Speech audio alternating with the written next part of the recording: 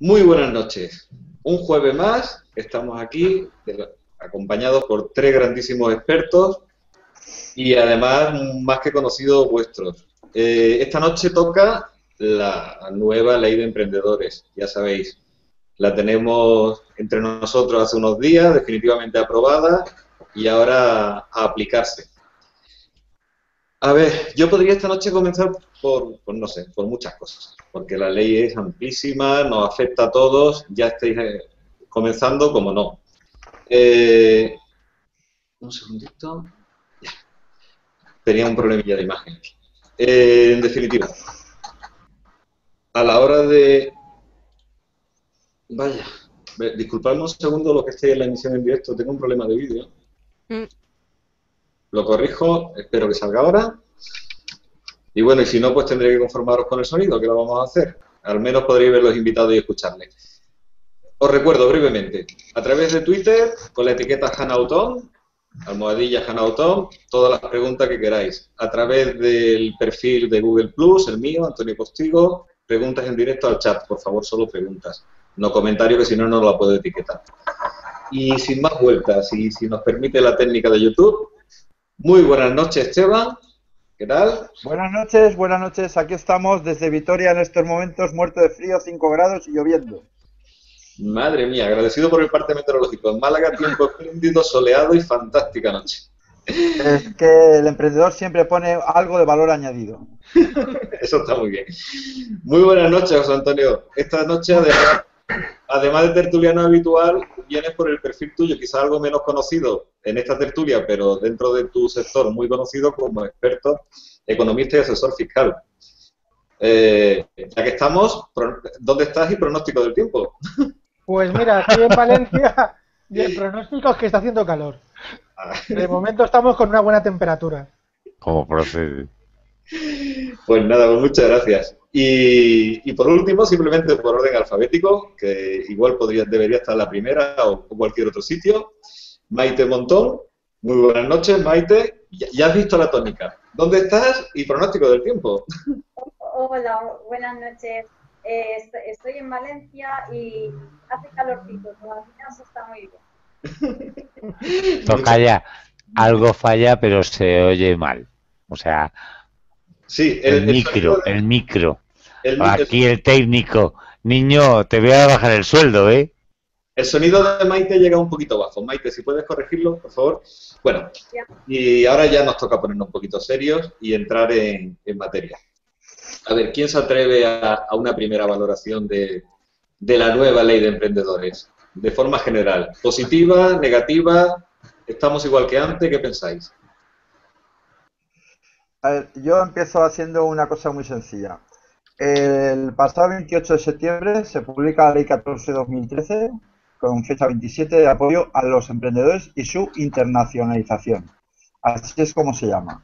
Eh, desde mi punto de vista, lo que intenta remediar es la anterior ley de apoyo al emprendedor, que era incompleta, en algunos eh, aspectos absurda, y con esta, desde mi punto de vista, no se resuelve se mejoran algunos aspectos, pero hay otra serie de cosas, como espero que comentemos, que son verdaderamente infumables.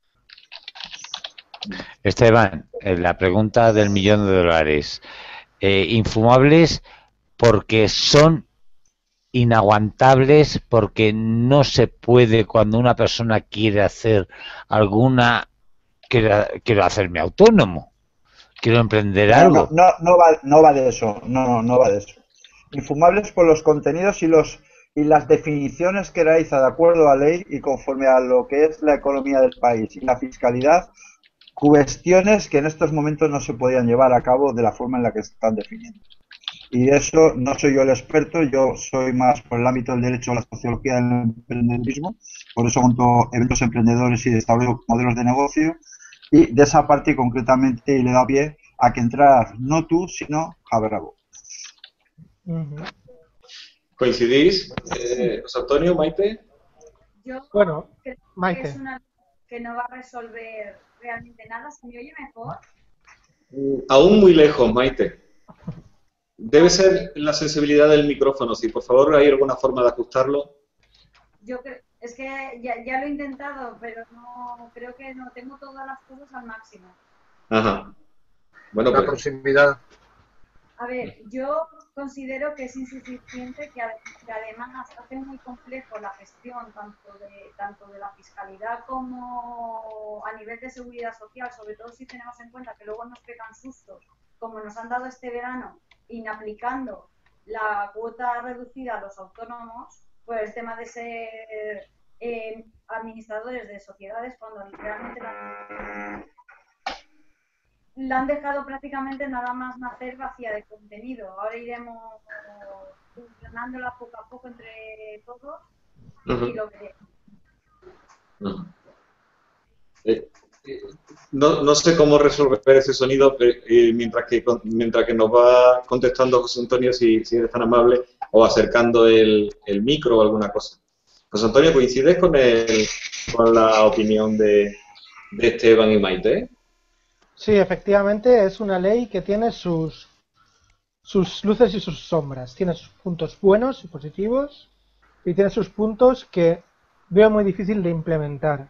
Es una ley con mucho, con un ámbito que toca muchos puntos o quiere tocar muchos puntos a la vez y eso es muy complejo porque to- toca puntos desde fundación de sociedades, pasando por prevención de riesgos laborales, seguridad social, contratación con la administración pública por parte de pequeñas y medianas empresas, eh, el ámbito telemático de, libros de contabilidad y de contabilidad y fiscales toca un ámbito muy muy amplio y hay muchas cosas que se quedan pendientes de, desarrollo reglamentario, con lo cual estamos estamos todos pendientes de que la administración se señale cómo van a ser todo ese tipo de cosas. Que ahora, cuando hablemos de cada una de las cosas, veremos a qué, a qué nos referimos con ese desarrollo reglamentario y cómo tiene que hablar cada mini- el ministerio en sí de una-. Hay, una, hay un aforismo de derecho que dice, haga usted la ley y déjeme a mí que revise los reglamentos. Y el tema está justamente ahí. Porque el reglamento puede acomodar una ley que es muy genérica y abstracta en cosas concretas con mucha dificultad de poder desarrollar. Pero hay cosas... Esteban, Esteban, tu, tu, Total. tu son- tu micro está demasiado cerca y se produce interferencia del sonido. Quizás un poquito más alejado se oye. Que, que está bien, que está bien, que me lo he cogido Así yo sin- mejor. sin darme cuenta. Sí. Que, que me lo he cogido yo sin darme cuenta.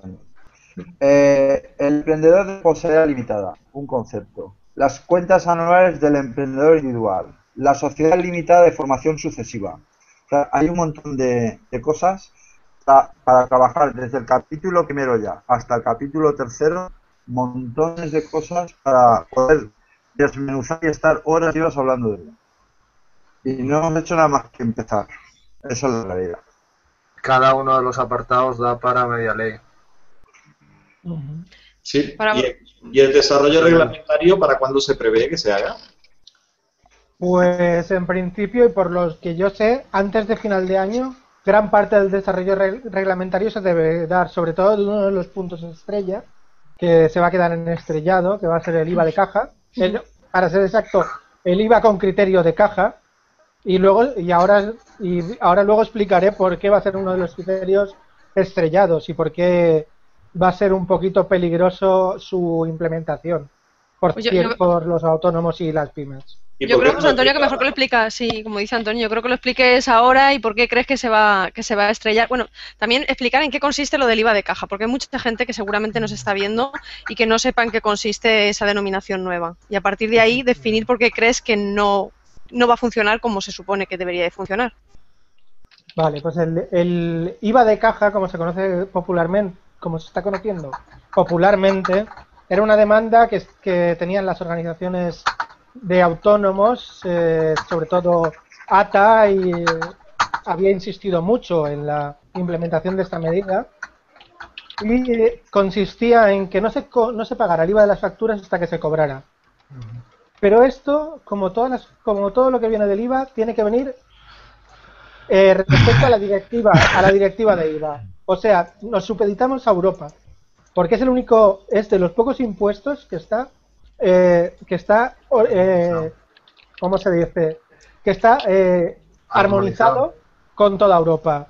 Entonces, el IVA de caja, tal como lo reglamenta la directiva de IVA, dice que tú puedes, si tú pagas el IVA cuando lo cobras, tampoco puedes cobrar el IVA que te deduces hasta que no te lo pagan.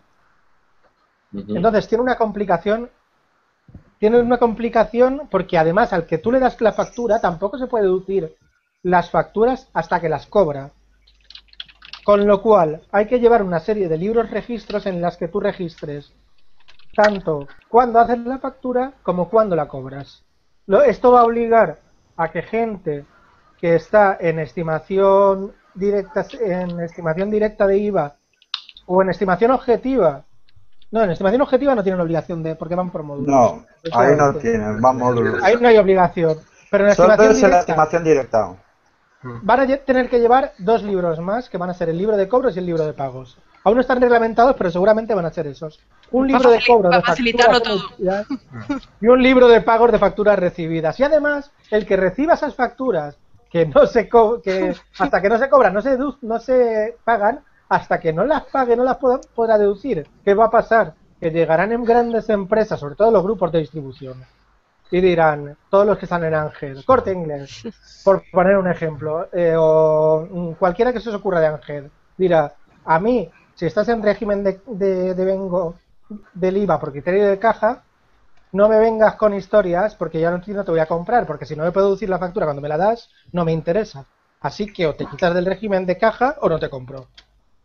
Eso va a ser una presión, como todas las presiones que hacen los, las empresas de Ángel, lo cual va a perjudicar a muchos productores que dirían, yo me acogería porque llego al límite de los 2 millones de euros de ventas, no llego al límite de los 2 millones de euros de ventas, pero no puedo porque hay algunos proveedores míos que me, que me niegan que me niegan esa posibilidad.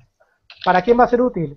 Eh, fontanero, electricista, persona que trabaja prioritariamente con administraciones públicas, porque sí que hasta que no me paguen no lo voy a no lo voy a pagar, pero te- además tiene una contrapartida.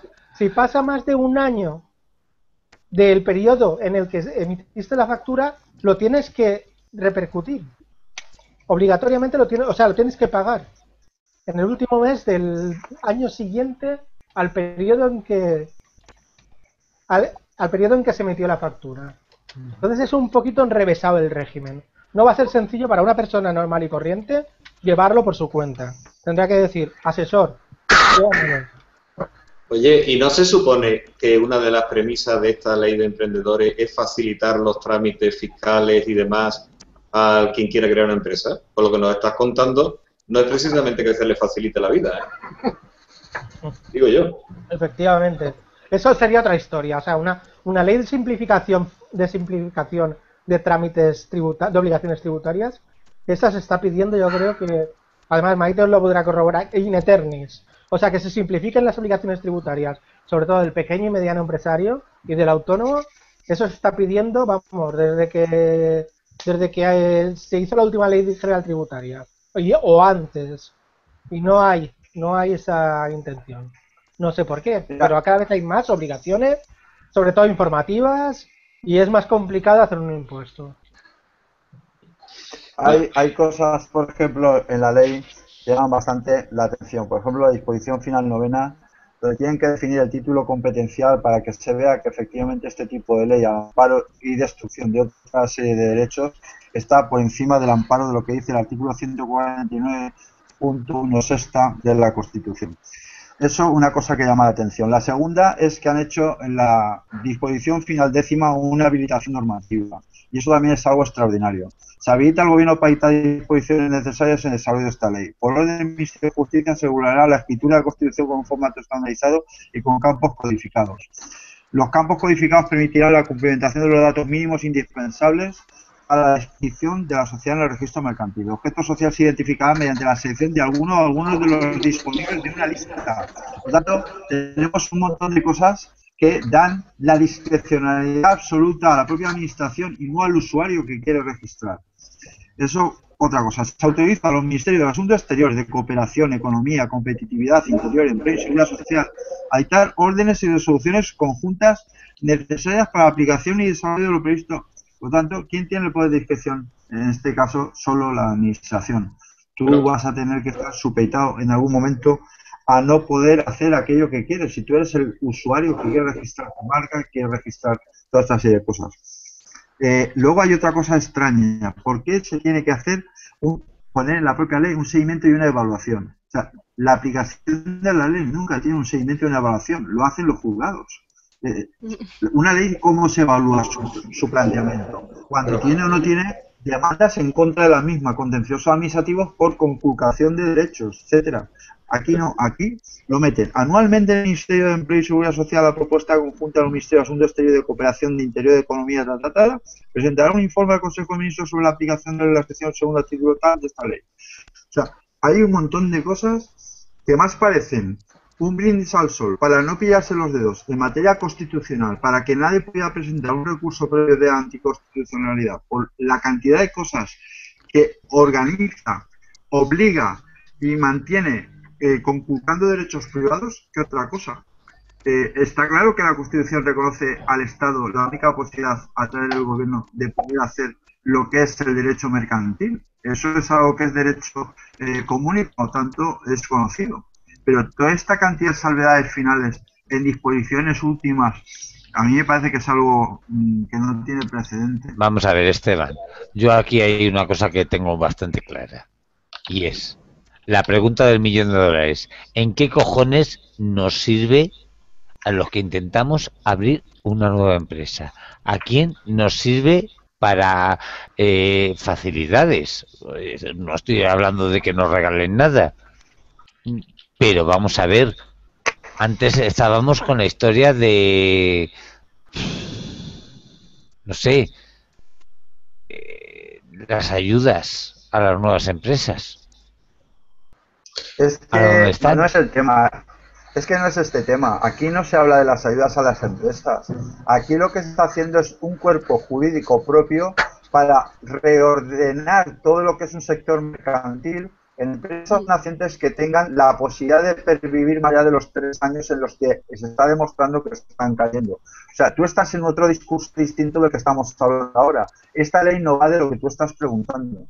Aquí no te están poniendo las ayudas que vas a recibir ni nada. Sí que te ponen una serie de cosas que de forma indirecta pueden ayudar, pero creemos que complican más que ayudan algunos requerimientos la administración pública no puede dejar en manos del propio autónomo el que pueda evidenciar o no de forma objetiva el cumplimiento de la legislación mercantil, fiscal y laboral. Por lo tanto, pone una serie de cortapisas que para mí conculcan aquello que es eh, la evitación o la, digamos, la definición jurídica o el aseguramiento jurídico de algo que realmente tendría que ser irreprochable si tú dices que tienes discrecionalidad para aplicar una serie de criterios, una serie de principios, te están poniendo por otro lado la cortapisa de que efectivamente no tengas esa discrecionalidad. Porque si no cumples tales y cuales requisitos en los plazos que te están determinando, ya tienes una complicación. Como tú no lo puedes saber, tienes que llamar a un asesor fiscal para que no puedas incumplir aquello. Porque si incumples, automáticamente se te echa encima. El poder de inspección es mucho mayor por lo tanto, el lapso de tiempo que puede haber entre que hagas una cosa u otra, como no tienes movimiento, pues o cumples o no cumples y vas para adentro. Como, eh, yo, perdón, Antonio. No, que yo, yo creo que mucha gente leer la nueva ley del emprendedor se piensa que, van a tocar muchos puntos importantes, como estaba diciendo Pepe, ¿no? Del tema de ayudas y tal. Como no es eso en, en lo que consiste esta ley, sí que me gustaría que esgrimierais un poquito los puntos clave que se pueden considerar, o sea, que se desarrollan en esta ley. Está muy bien, tiene muchos apartados y mucha gente se va a perder en esa terminología que a lo mejor pues eh, mm, la gente no se mete en esa terminología tan legal o tan formal y tal. Entonces, así eh, claramente, ¿podríais detallar cuáles son los puntos clave de esta nueva ley? Pues mira, para mí hay uno que puede ser tremendo en la situación en la que estamos ahora. Sería el capítulo 5, acuerdo extrajudicial de pagos, por ejemplo. Artículo 21, modificación de la ley 22-2003 de 9 de julio, concursal. Eso es un tema tremendo por el cual muchísimas pymes, pequeñas pymes motivadas desde emprendedores, han tenido que ir a concurso a acreedores constreñidas totalmente, porque la propia administración pública les debía dinero, habían consignado el pago del IVA y estaban sin liquidez por culpa de esta serie de cosas. Los ayuntamientos no han pagado a tiempo y han sido los principales causantes de que esas pymes se hayan tenido que cerrar, tirando a la calle aproximadamente un 40% de los trabajadores que tenían. Por ejemplo, esa. Si hablamos por ejemplo, el artículo 22. servicio de los puntos de atención al emprendedor. Eso es un cajón desastre para poder meter a los enchufados y amiguitos que puedan tener sus, eh, eh, mostradores y acá de tantas atenciones, tanto como... Eh, ¿Qué más? Apoyo fiscal en materia de seguridad social a los emprendedores. No es ni más ni menos que lo que ya tenías como emprendedor, ajustada a la cuota, reducción de la cuota durante un determinado tiempo y la satisfacción de que si tú pones más, eh, algún eh, empleado a tu costa, tengas una exención de pago durante un tiempo. O sea, que hablar de esas cosas. Los incentivos fiscales en inversiones de empresas de nuevo reciente creación.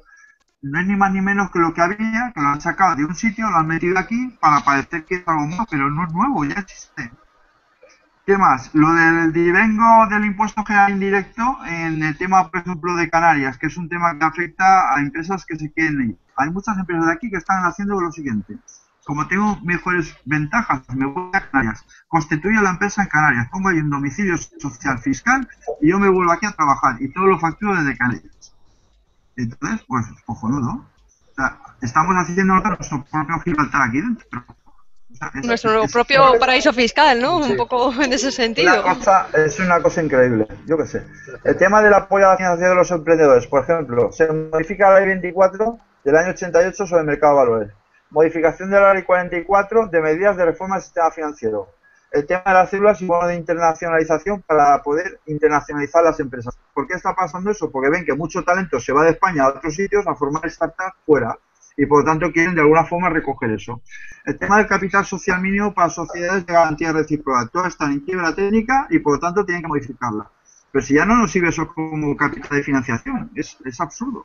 Pero bueno, así podríamos seguir. Es que es interminable, ¿verdad? Sí, eh, Mai- Maite, eh, vamos a ver si ha resuelto el problema de sonido. Maite, eh, si, si puedes... A ver, ¿podrías probar tu micro? Bueno, vaya, mal, mal momento. Ahora que, ahora que le pido que, que, no- que nos comentara si estaba de acuerdo, mal momento. Pero aquí, aquí hay una, hay una cosa que yo no termino. Ah, ya, ya nos vuelve Maite. Ya está ahí, Maite, ya. Ah, ven, perfecto. Vale, ¿se me oye? Sí, Sí, con eco. Un parece. poquito de eco, pero perfecto. Eh, volumen perfecto, algo de eco.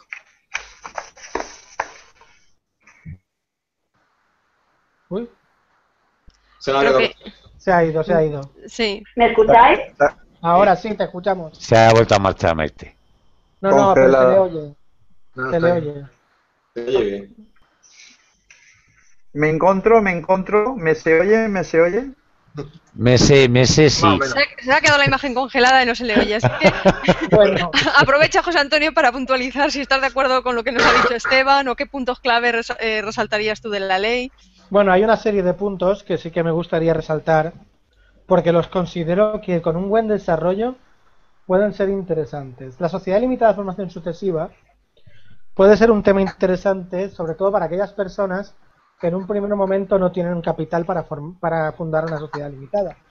Porque permite que durante la- el momento de la fundación puedas fu- fundarla prácticamente con cero euros y luego con una serie de requisitos, de reservas y de que tú men- vayas mencionando que la sociedad está pendiente de que formalice su capital legal, puedas tener una sociedad limitada, sin necesidad de poner en el- desde el primer momento 3.000 euros. Eso puede favorecer en cierto punto la creación de sociedades limitadas, con toda la discrecionalidad que, como ha dicho Esteban, tiene sobre todo la administración tributaria para decir en un momento dado, sobre todo en ciertas sociedades de profesionales, lo que usted está facturando desde la sociedad, usted además tiene que facturarle como profesional a la sociedad. Con lo cual van a acordar muchas sociedades limitadas. Pero tiene una cosa, no te olvides de que la propia ley ya pone el límite de la responsabilidad en 300.000 euros. O sea, cualquiera que tenga un piso de 350.000 o de 250.000 está todo en su responsabilidad. No, Esteban, hablo, hablo de la sociedad limitada de formación sucesiva, Ajá. Muy bien. en la que se funda con cero euros y luego se va progresivamente Sí, sí. bas- en base a Claro. reservas fun- creando el capital la- de la sociedad. Respecto al emprendedor de sociedad, sí, di Maite. Eh, de todas formas, José Antonio, yo veo un poco absurdo, vale, los 3.000 euros los puedo ir poniendo poco a poco. obligaciones que le ponen al, al emprendedor, eh, tampoco le veo mucho sentido, porque hoy en día reunir 3.000 euros, como se estaba haciendo hasta ahora para ponerlos de capital social, ya no les costaba tanto, porque luego los podían utilizar. Está claro que tú con esos 3.000 euros los acreedores, pero como nada más que constituye, se supone que no vas a liquidar, tú podías ingresar, depositar el capital social y luego utilizarlo. Y sabías que si ibas a la liquidación, ese dinero tenía que aparecer.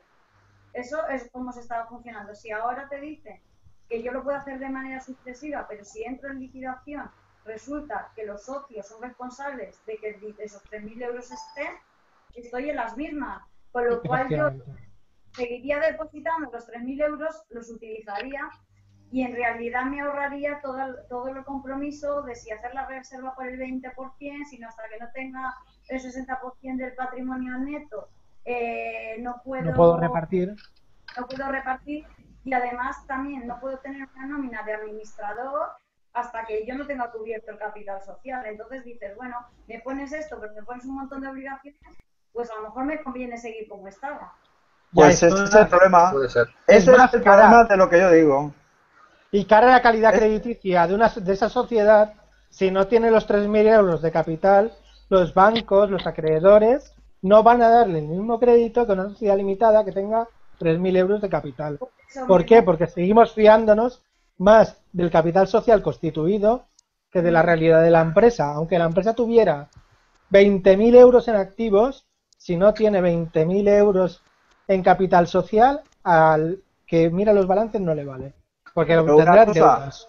Tener en cuenta además perdona. un detalle que esto está olvidado y es que en el punto 4 bis de la norma, cuando está cambiando dentro del artículo 12 el tema este, te dice, en caso de liquidación voluntaria forzosa, si el patrimonio de la sociedad fue insuficiente para atender el pago de sus obligaciones, los socios y los administradores de la sociedad responderán solidariamente del desembolso de la cifra de capital mínimo establecida en la ley. Es decir, no te va a exonerar ese caso en absoluto, sino que van a ir a por ti y vas a responder con tu patrimonio por lo menos hasta la cantidad.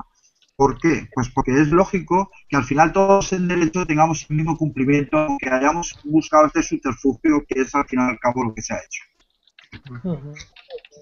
Yo, perdonad el inciso, yo lo veo esto como una especie de operación de maquillaje por, por homologarnos con Europa y también por, por, por una, un sentido de, bueno, de imagen pública, porque también el, el malentendido de antes de José Antonio yo lo entiendo perfectamente porque nos han vendido esta ley como que es una ley de incentivo al emprendimiento y eso es mentira, no lo es tiene muchas ventajas, tiene muchos puntos positivos, muchos aportes, como el tema, por ejemplo, el tema de, de, de IVA, yo lo veo una posibilidad que es posible, tiene la traba de los tres años de carencia, tres años de renuncia, con lo cual ahí, eso, es decir, tú te acoges y te pasas tres años aguantando esa situación, ya sea la renuncia o el reconocimiento.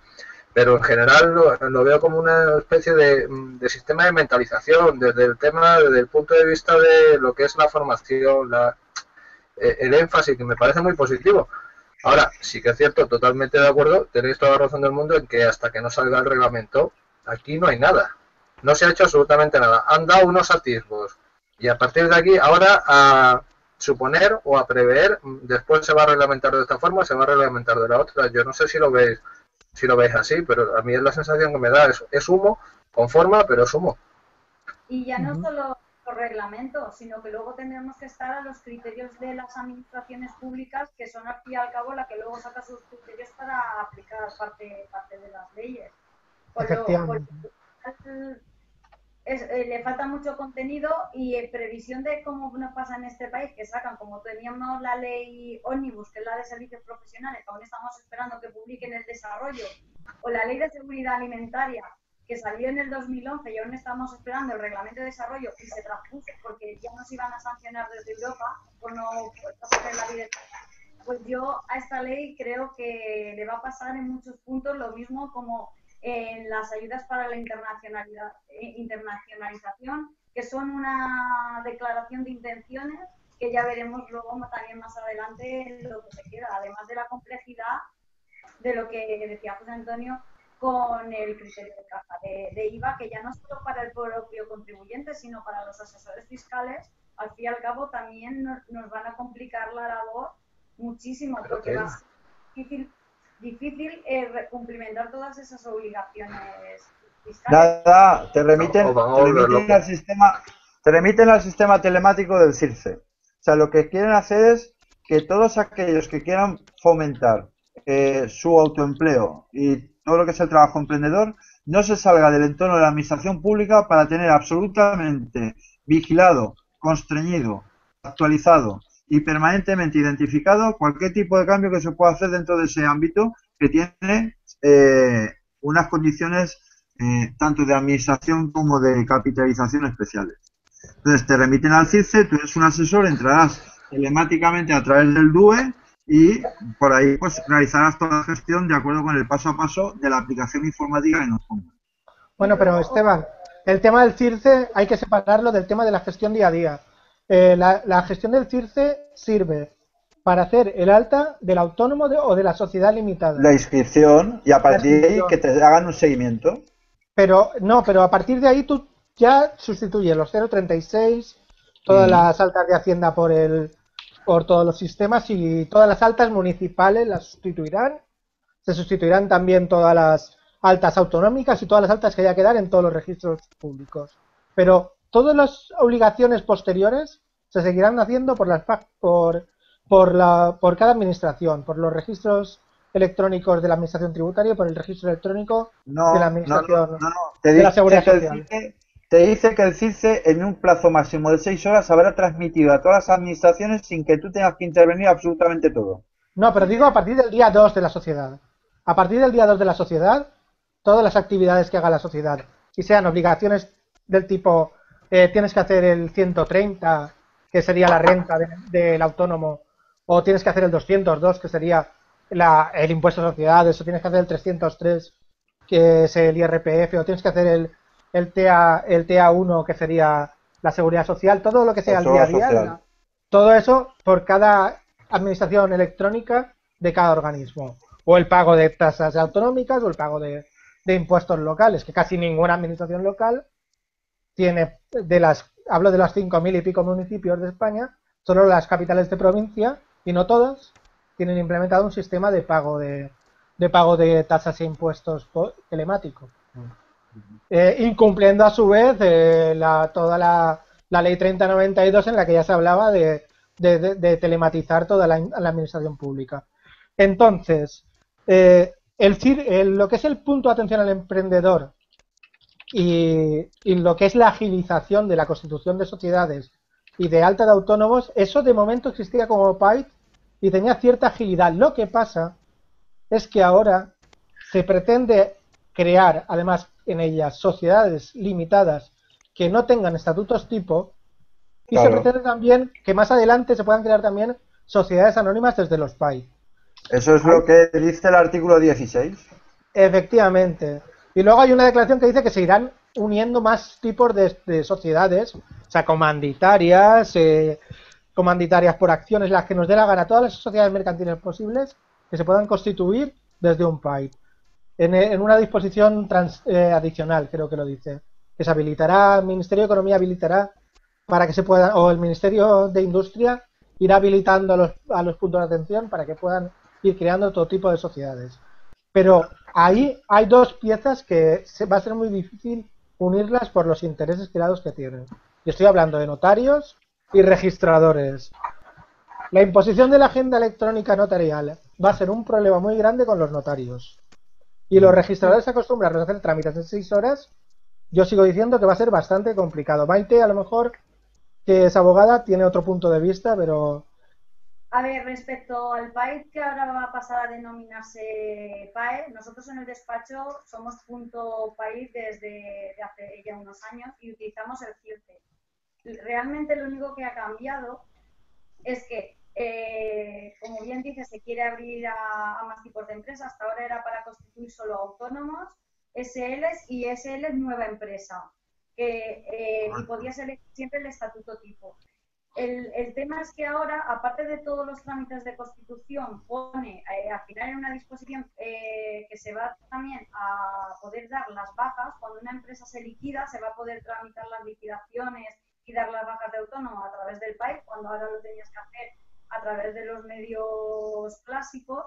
y se va a obligar a todos los notarios, porque antes era voluntario, a que estén todos dentro de- del PAI para poder coger cita telemática con ellos. Yo, de mi experiencia, el PAI funciona, era era más rápido. La ley introduce algunas cosas nuevas, pero sigo diciendo que es un poco lava de cara. Vamos a tener que ver cómo, cómo realmente funciona para saber si son efectivos los cambios o no. De momento, la cosa sigue estando igual, la aplicación sigue siendo igual y desde CIRCE no, no se nos ha enviado ninguna circular. No, no, solo han cambiado los nombres, porque yo hice el otro día un, un autónomo y vi que habían puesto eh, entrada a PAE, pero solo han cambiado los nombres en, las dos, en los dos portales de entrada. Lo que sí que digo es una cosa para los espectadores que nos estén viendo, eh, acudir a las ventanillas únicas, acudir a cámaras, donde no les van a asesorar realmente de los tip, del tipo de sociedad que les conviene. Estoy tirando para, mi ter- para, para nuestro terreno, para el terreno de los asesores. En una ventanilla única empresarial eh, de la administración o de una cámara de comercio o de cualquier tipo de organismo público o semipúblico, no les van a asesorar sobre la sociedad, el tipo de sociedad que les conviene. No les van a decir el tipo de organización que deben tener. No les van a ayudar más allá de decir, ahí tienes este papel y ahí tienes cómo es una sociedad limitada y cómo es un autónomo. Lo que más te convenga. No les van a ayudar más allá. No les van a decir qué tipo de organización quieres, qué vas a hacer, eh, haz esto o espérate unos meses o hazlo ya. No, directamente le van a decir, toma, para darte de alta. De hecho, las cámaras están cobrando un dinero. Están cobrando, incluso sé que cobran más que un asesor. Porque yo llamé una vez para preguntar así por con picardía, antes de ponerme el punto Python y dije, eh, por hacer una sociedad, ¿cuánto cobráis? Porque tengo una necesidad de hacer una sociedad y me dijeron X euros. Y yo dije, pues voy a poner una tarifa por bajo de la cámara, así me llevaré los de las cámaras. Pero José Antonio, ¿no te parece un poquitín de que nos estamos enfrentando a la falta de información antes de empezar a, a intentar, a intentar, sea un fitness, sea un nuevo autónomo, sea una nueva empresa? Por favor, una cosa es que no nos demos cuenta de lo que estamos haciendo. No, ver, no, la ya. eh, la, la inseguridad jurídica en este país es tremenda, porque con todas las leyes que tenemos y además cada vez que sacan una nueva re- necesita re- eh, reglamentos para desarrollarla, más circulares y demás, nos meten ahí en un, en un sistema que, que- que es de loco, que últimamente nos pasamos los abogados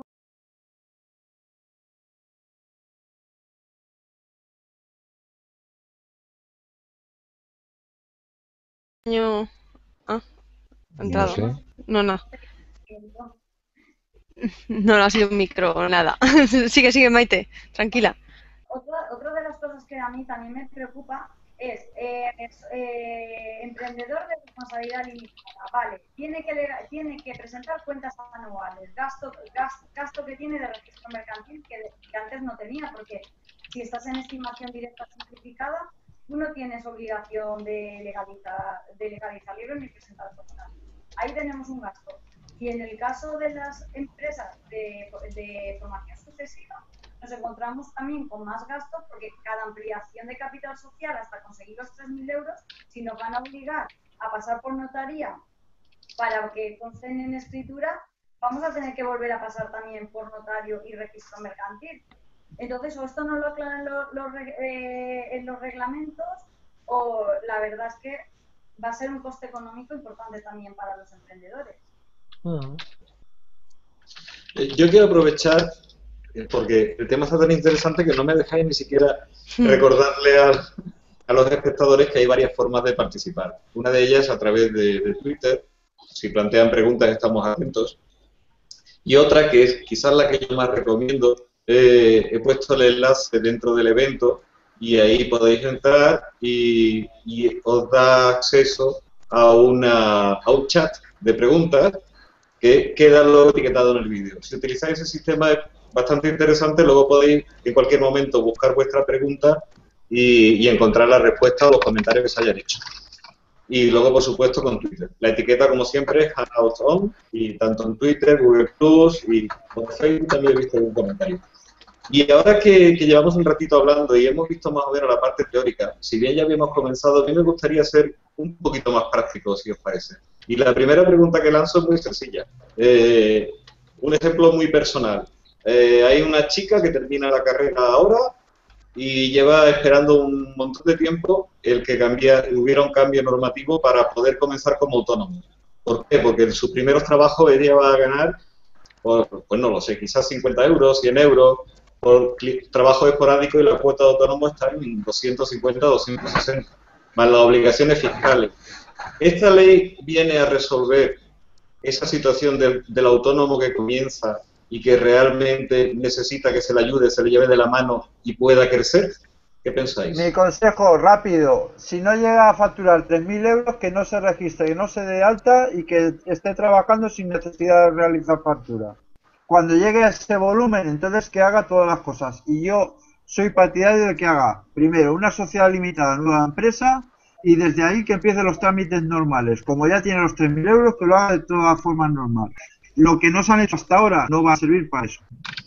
Vale, y si, y si- si- si en ese espacio de tiempo tiene una inspección, ¿qué hace? No, la propia ley que en estos momentos existe te exonera de tener que darte de alta en seguridad social y tal hasta que no tengas un volumen de facturación X. No tienes problema. Lo fiscal sí. Tú haces. No, pero Esteban, eso es relativo porque la, la ley de seguridad social de seguridad social te dice que no te tienes que dar de alta si tú no tienes una actividad con- continua, que es habitual y continua. El problema de el problema de eso es que como varios criterios la y la seguridad social reclamaba a los autónomos, tenemos sentencias y no son en unificación de doctrina, con lo cual hay que cogerlo con pinzas que dicen que si no hay habituabilidad o no se gana más del salario mínimo interprofesional, podrías estar da- darte de alta en Hacienda, pero no en Seguridad Social. Correcto lo que yo he dicho, justamente eso. Sí, el, el problema es que si tú estás solo, aunque sea una hora al día, al día eh, 20 horas al mes y es todos los meses, se con- la Seguridad Social está considerando que ahí hay continuidad y habituabilidad, independientemente de que tú ganes. Pero que no ocupa una jornada de trabajo co- completa, es a tiempo parcial, es un part-time, por lo tanto sí que lo puede hacer. De hecho, no le, esas cosas ahora le están permitiendo. Vale, pero es que Está no hay- interpretaciones. A ver, el problema es precisamente lo que acaba de apuntar Ignacio.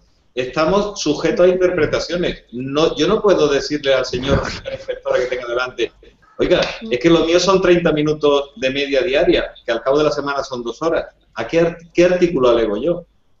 A ver, Precisamente, real- Precisa- realmente solo está el criterio Maite. de la habi- sí, realmente solo está el criterio de la habituabilidad y continuidad. Entonces, si a ti tú tienes una inspección de, de la seguridad social y te dice que tienes que pagar, ellos de oficio te dan de alta, tú tienes que pagar y es administrativo, es decir, tú, la- la- primero pagas a la administración y luego si quieres reclamas, con lo cual ellos te darían de alta de oficio y si tú no estás de acuerdo con el criterio utilizado te tendrías que meter en reclamaciones contra la administración y ahí ya a ver si te dan la razón o no te dan la razón, con lo cual no le puedes asegurar no te, no te van a obligar porque no lo sabemos. La ley solo dice eso y a partir de ahí asumimos el riesgo no lo sabemos.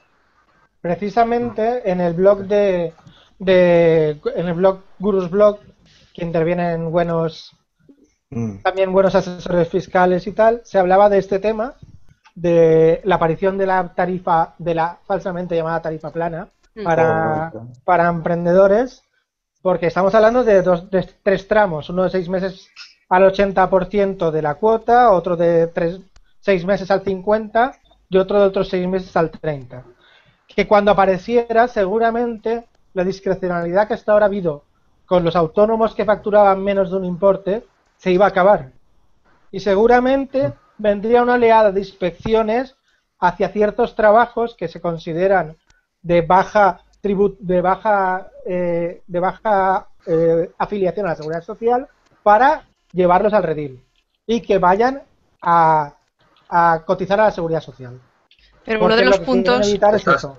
Estás hablando de una campaña eh, prevista y orquestada y organizada con intención de ir. Efectivamente, yo hablo de una, campaña supuesta, supuesta campaña. Ten en, Sí, cuenta los, vamos. ten en cuenta los tiempos que estamos, necesitamos recaudar. Como Estado, el Estado necesita recaudar. Si te pongo Eso las cosas juzgado de fáciles, guardia, vamos. No, no, pero si te pongo las cosas, esto es como lo, como el tema de, lo, de la de la revisión catastral. por, por 60 euros. Te pongo las cosas fáciles, acógete, porque si no te acoges, te doy un palo y te acogerás. O sea, esto funciona así, como la amnistía fiscal. Si lo haces en el tiempo, bien. Como no lo hagas en el, como se acabe el tiempo y no lo hayas hecho, te sancionaré. ¿Qué es lo que han hecho con la amnistía fiscal para, para bienes que estaban en el extranjero y para rentas que venían del extranjero? En cuanto han visto rentas que no se han declarado, palo. Es lo que es, es la es el funcionamiento habitual de la administración. Se da un, un periodo o se da un plazo, un, De carencia. se da, no, un plazo de carencia, no, se da una, unas posibilidades y al que no se acoge se le lleva el redil. Eso es, ya que te pongo las facilidades, pues acógete, al menos. O sea- y yo creo que va a ir por ahí el asunto. O sea que, José Antonio, ¿tú piensas que va a haber esa posible campaña de ir a pillar a quien no se acoja y tal? Sin embargo, uno de los puntos en los que más se ha incidido para dar a conocer a bombo y platillo esta ley es un poco eso de la tarifa plana. Es como bastante jugoso decir que se ha sacado una nueva ley de emprendedores y uno de los titulares, o no sé si es que los periodistas nos tiramos siempre por lo más llamativo, o por enganchar de alguna forma es tarifa plana, si quieres emprender por unos 75 euros los primeros seis meses, puede ser. Es totalmente engañoso en ese sentido. No, En mi, efectivamente. en mi opinión, es Financiero que y mala realmente estrategia de se está haciendo una jugada muy rara, porque se está dando presupuestos y se está dando subvenciones a emprendedores cuando no aparece por ningún lado. O sea, no hablo de política, hablamos de que cuando nos estamos enfrentando a una suposición de lo que oímos en las noticias, no es real. En absoluto.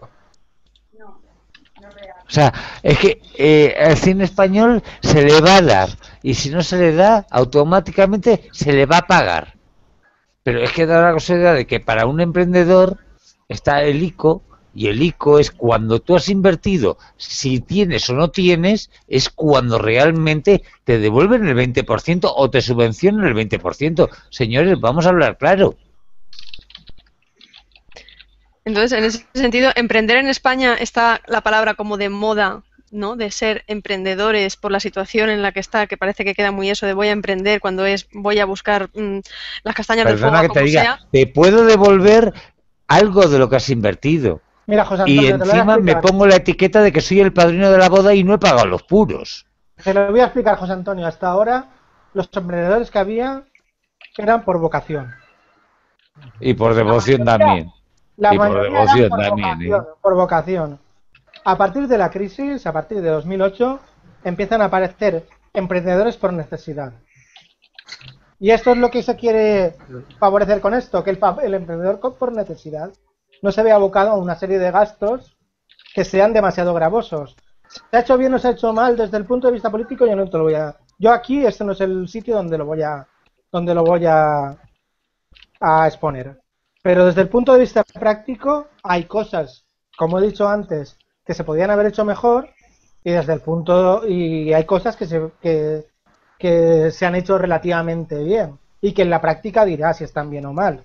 Por ejemplo, y vuelvo a acordarme, hay una cosa que no favorece nada, que es que a partir de ahora todas las declaraciones y todos los libros se tienen que hacer de forma, se tienen que legalizar de forma telemática. Vamos a ver, el señor que tiene un camión, ¿cómo va a legalizar su libro de, in- de ingresos y gastos telemáticamente si el señor este no va a tener ni ordenador seguramente en su casa? ¿Ya tiene que pagar una a un asesor? ¿O tiene que ir a Hacienda y a decir, oiga, esto que tengo aquí, que cómo narices lo legalizo? Mi libro de, de- mi libro de ingresos y gastos. O sea, estamos por un lado dando y por el otro quitando. No estamos simplificando No. ciertas obligaciones. A ver, ahí, ahí teníamos que discutir todo lo que dice el título cuarto, donde habla de la simplificación de las cargas administrativas, la reducción de las cargas estadísticas, donde habla del tema de la prevención de riesgos laborales para las pymes y los emprendedores, donde habla de los libros de visitas de inspección de trabajo y seguridad social, donde habla de los apoderamientos electrónicos, o sea, un montón de cosas que realmente son, para según qué gente y qué nivel tenga, muy difíciles de cumplir. Es una cosa muy clara. En cuanto a lo que ha comentado antes José Antonio sobre el tema de los créditos y tal, el emprendedor no tiene acceso por directo a los ICOs. Las pymes sí, los emprendedores tendrían que ir para hacerlo ahora a un ENISA. y siempre y cuando pueda demostrar que tiene por la parte, digamos, personal una capacidad de endeudamiento y que les permita eh, suplementarla con ello. Lo que decimos, si tú tienes business family y encima involucras a los amigos, a los locos, ya no sé qué, los tres Fs, pues el ENISA sí te va a cubrir una parte parecida. Incluso en el IVF en Valencia, pues se podía conseguir un préstamo de acompañamiento similar a la parte que el ENISA te diera. Lo que pasa es que hasta hace poco, si tú fracasabas, el dinero que te dejaba el ENISA no tenías que devolverlo. Siempre que esto estuviera documentado eh, totalmente con la contabilidad y con todas las acciones perfectamente resueltas. En estos momentos sí que tendrías responsabilidad y tendrías que devolverlo en un plazo X de tiempo, superior al que en principio el préstamo te hubieran dado. Esos son todos los cambios. Luego, Cosas, por ejemplo, con el tema de la revisión del clima, negocios a través de las mejoras regulatorias con indicadores e intercambio de las mejores prácticas. A mí eso me suena brindis al sol. Es que la mejor práctica puede, poder sacar el menor tiempo posible la empresa adelante y si puede llegar perfectamente organizado y con el capital desembolsado y todo en el plazo más corto posible tendrá menos problemas que si lo hace en más largo plazo. O sea, es que es así. Pues eso, lo sabes, que las pymes se las refanfinfla el clima empresarial y el clima económico del país. A ellas lo que quieren decir es, lo que quieren saber es, vamos a tener la colaboración del Estado para tener menos complicaciones a la hora de tener obligaciones y a la hora de poder acceder al crédito, que era lo que la gente esperaba de esta ley, acceso al crédito, sobre todo por parte de las pymes. Las startups, vamos a tener una mejor un mejor acceso de nuestros inversores a, a, nuestro, a, a nuestras startups. Se ha hecho ahí un poquito de mejoras, pero no son las mejoras, no en la dirección correcta. La eh, mejor mejora de todas está en el capítulo segundo cuando dice medidas para impulsar la contratación pública con emprendedores. los emprendedores tenían a poder contratar, ser contratistas con la administración pública, pues no podían tener clasificación. Ahora dice, hacemos una unión temporal de emprendedores, no UTE, sino de emprendedores, y entonces sí que podrás contratar con la administración. Pero te vas al artículo 43 y ya tienes el primer problema. ¿Dónde están los umbrales de exigencia de clasificación? Y ahí ya volvemos otra vez a, a pinchar. Entonces, claro, te dan una muy buena, te alegras mucho y pasas al artículo siguiente y te viene la rebaja. Mm. se, va, se va contrarrestando un punto con otro, ¿no? Entonces en la ley. Si os tuvierais que quedar eh, con los puntos que sí que, porque ahora Esteban estaba diciendo ese punto que le parecía muy bueno, hasta bajar un poco en la ley, en la lectura y a matizar un tanto. Pero ¿qué puntos creéis que sí que van acertados? ¿En qué línea, qué puntos sí que van en la línea acertada y cuáles van en la línea totalmente contraria a hacerle un favor a los emprendedores? A mí, por ejemplo, me parece fenomenal que puedas contratar con la administración hasta 500.000 euros. Porque antes el límite eran 2 millones, no vas a mm. poder llegar con una unión temporal de emprendedores y te dicen hasta 500.000 puedo hacerlo. ¿Por qué? Pues esto permite a que varios emprendedores o algunas startups puedan realizar cosas con la administración pública. Por ejemplo, cinco tíos se unen, forman una startup tecnológica y van a desarrollar una aplicación para que la administración pública tal cosa la pueda hacer. Contratación 500.000, a lo mejor la aplicación vale 200.000. Pues ya, ya tienen una salida y además la tienen perfectamente justificada y pueden hacerla. De otra forma no podrían. Eh, ¿Qué te dice eso? Se juntan 10 eh, profesores para montar en plan cooperativa un colegio de educación infantil la capacidad que tienen a lo mejor es inferior a 500.000 euros para trabajar durante un año. Podrían perfectamente ser contratistas que acceder, por ejemplo, al desarrollo crediticio, a la parte de las subvenciones que dan de colegios concertados, etcétera, en estos momentos de acuerdo con está la ley. Tendrían una salida, se han quedado sin trabajo en la administración pública como maestros y lo hacen con autoempleo de esta manera. Esas cosas yo las veo muy positivas, porque eso va a mover seguro. El asunto, la parte de cumplimiento legal que requiere de asesores externos en un negocio de bajo rendimiento económico encarece la administración fijo. Eso para mí es negativo. Vale. Yo los, los puntos que veo positivos como fiscalista son el, sobre todo la parte de inversión, la deducción por inversión de beneficios, que tener en cuenta que está bastante bien que tú, los mm. beneficios que inviertas en tu, en tu, en tu misma sociedad, en tu misma entidad, lo tengas una deducción por ellos, sobre todo para las empresas pequeñas, porque es un estímulo a, a reinvertir. Porque hasta ahora muchas empresas no se no autoinvertían y dependían mucho del apalancamiento financiero. Entonces, todo estímulo que sea para la inversión en inmovilizado material y en inversiones inmobiliarias es estupendo. Y la segunda, la, eh, la mejora en la patent box. Que ya no haya una limitación a las rentas por la cesión de intangibles va a favorecer a muchas startups tecnológicas que no llegan a la ronda de, a la ronda de, de financiación. ¿Por qué?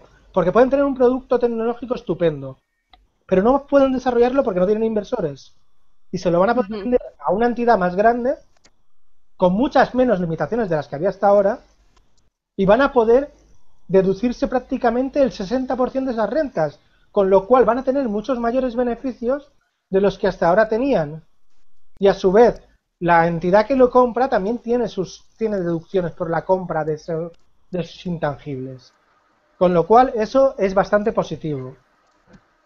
Esos dos puntos para mí son, son bastante claves para emprendedores, bajo mi punto de vista. Y tú, Maite, desde el punto de vista de una abogada, ¿cuáles son los puntos clave que consideras que sí que son buenos y cuáles estarían al otro lado de la balanza? A ver, yo eh, concediendo a mi, a mi compañero los puntos positivos que han visto, eh, a partir de ahí creo que van a llegar a muy poca gente porque no es el perfil mayoritario del emprendimiento, del emprendimiento en, esta, en este país, porque realmente tenemos más bien eh, autónomo- eh, tenemos autónomos o pequeñas pymes, muchas no van a contratar con la administración, sobre todo con el riesgo de, de los impagos o no van a entrar en rondas de financiación, que las que lleguen ahí, esos dos puntos los tienen muy a favor, pero no es en general. Entonces, para el resto, pues creo que tampoco hemos mo- mejorado mucho más de la norma que sacamos emprendedores este verano. Seguimos teniendo la reducción en las cuotas, pero también van a tener que eh, decidir si los autónomos, personas físicas, porque ya hemos dicho que los administradores de sociedades no pueden acceder a ella, a la reducción de la cuota de autónomos, van a tener que valorar mucho si les merece la pena por ahorrarse un poco en el autónomo, eh, empezar ya una actividad o no. Y luego se han encarecido mucho los, los gastos eh, por trámites en registro mercantil, eh, notarías y demás. Entonces, yo hasta que no esté funcionando y salgan más reglamentos, tengo, tengo muy poquitas esperanzas por mi experiencia en, en esta ley. La veremos, le, le dejaré el retiro de, de ver cómo se desarrolla. Un, vo- un voto de confianza, pero es eso, ¿no? O sea, si se han encarecido todo ese tipo de, de trámites, ¿no? De todo lo que hay que realizar, y el titular de esta ley es tarifa plana para emprendedores, eso vende muchísimo, pero real, real, me estáis dejando eh, claro que así no es, ¿no? Fijaos, hay, hay dos puntos que los llamo yo el cachondeo. Y son, Yo- sí, porque son el cachondeo padre. O sea, uno, uno de ellos es la prevención de riesgos laborales para, para, empresa- para empresarios que tengan menos de 25 trabajadores. Vale, eso necesita que se pongan de acuerdo el Instituto Nacional de Seguridad e Higiene en el Trabajo, las comunidades autónomas, para darles una formación que puedan, para que puedan esos empresarios eh, eh, dar, eh, seguir las pautas de, de la prevención de riesgos laborales. Pero ¿qué empresario que tiene menos de 25 trabajadores tiene tiempo para sentarse y decir, voy a estudiar todo lo que tiene que hacerse en la empresa sobre prevención de riesgos laborales y, y tal? Si, no, es que no pueden, es que van a tener que seguir yendo para evitar sanciones a las empresas de prevención de riesgos laborales porque son las que mejor les van a, les van a dar el servicio. Es que una persona, aunque lo pusieran para 100 trabajadores, no puede hacerse cargo. Pues Antonio, esto es otra lavada de cara, porque las Claro. empresas hasta ahora, eh, se podían hacer la prevención de riesgos laborales si tenían menos de seis trabajadores. Es decir, ahora lo han ampliado a 10 y te dice que lo facilitarán. Pero es que llevamos ya muchos años con, un pro- con una eh, ayuda de prevención que se llama Prevención punto- eh, 10, que está, es prevención10.es, que facilitaba a las empresas el hacerse ellos la prevención y ahora lo único que han hecho es, a, donde yo antes decía 6, ahora digo 10, pero esto a nosotros No. lo mismo, para mí es otra lavada de cara más de que ahora pues, mola, porque como a la gente esto no lo sabe y se le ha olvidado, digo que lo hago de nuevo, pero es que llevamos años con eso, entonces no sigue siendo igual que de más de lo mismo. Y como tú dices, al final la gente no se la hace ellos, porque además, si no quieres hacerte la prevención, la vigilancia de la salud, tienes que ir a morir a, un, a alguien experto que te haga la vigilancia de la salud, porque el tema de que puedo renunciar depende de actividades también se está penalizando por la inspección de trabajo, no lo admiten en, todo caso, en todos los casos, sigo con lo mismo, ma- coste y burocracia para, para los autónomos y empresas. Y luego hay un artículo muy pequeñín que ese ya es para caerse de culo, que se llama Simplificación de cargas administrativas, que dice, cada vez Mm. que la administración cree una carga tendrá que quitar otra. Y dices, entonces que simplifican nada. O sea, además, hasta que no vea no me lo voy a creer. O sea, que llegue un Ah. ayuntamiento y diga, voy a crear una licencia más y ahora te quito otra licencia. Pero es que no lo vas a hacer, no me lo creo. Vais sumando Hay- una hay a una otra. cosa- Va a volver- loco a Hay- la gente. Hay una muy simpática que es el, el artículo 58 que se llama Convenio de Ajuste Recíproco de Intereses, Uh. conocido como el CARI. Y para mí una CARI es una guapa, pero eh, llamar, a un, llamar a un estímulo eh, CARI pues parece que es un poco de cachondeo. ¿no? Y luego hay una cosa muy interesante, que es lo de la facilitación de entrada y permanencia. Entrada y permanencia en España por razón de interés económico. Dice, pretendemos con esta ley también que vengan inversores extranjeros y que de alguna forma participen y mejoren lo que es todo lo- nuestro flujo de capitales. Entonces tú empiezas a leer ahí, ¿y quién puede venir a este país ahora? Y entonces va a tener la capacidad de eh, ser inversor y por lo tanto, eh, ¿qué va a obtener? Y lo primero que pone de todo, punto A, es que sea un inversor igual o superior a 2 millones de euros en deuda pública. O sea, ese es un gran inversor. Entonces, claro, y en el último punto pone que venga a desarrollar España eh, un proyecto empresarial que al menos pueda durar eh, durante, creo que dice, tres años. Bueno, si esa es la gente que tenemos, fíjate, los extranjeros no residentes se propongan entrar en territorio español con el fin de realizar una inversión significativa del capital, podrán tener su visado de estancia o en su caso residencia para inversores. Dice, en siguientes casos, Inversión inicial por un valor igual a 2 millones de euros en título de deuda pública. Adquisición de bienes inmuebles, o sea, especulación de la costa, eh, por inversión igual o superior a 500.000 euros por cada solicitante. Desarrollar un proyecto empresarial que vaya a ser desarrollado en España y que sea considerado y acreditado como de interés general. A partir de ahí, ¿dónde está la creación de puestos de trabajo? ¿Dónde está la generación de riqueza? ¿Dónde está que el dinero que salga de los beneficios sea reinvertido? ¿Dónde están todas esas serie de cosas que es lo que realmente aportaría valor? Solo hay un caso. Cuando se trate de investigación científica o tecnológica que termine en patentes que no salgan del territorio nacional. Vale. El ¿Tú te crees I+D que- tan castigado, tan ¿Tú castigado. te crees que viene, viene aquí la Bayer o viene aquí la Philips o viene eh, Sony o quien sea, descubren aquí una cosa y la patente se va a quedar en España? Anda, hombre, por favor. Hombre, Por para lo que va a venir bien es para que vayan los ejecutivos. Hasta ahora, por ejemplo, cuando venía, por ejemplo, una empresa coreana o japonesa o estadounidense y traía un ejecutivo de su país, tenían siempre problemas con los trámites de visado y con los trámites de residencia. Esto lo que va a facilitarles es que los traigan.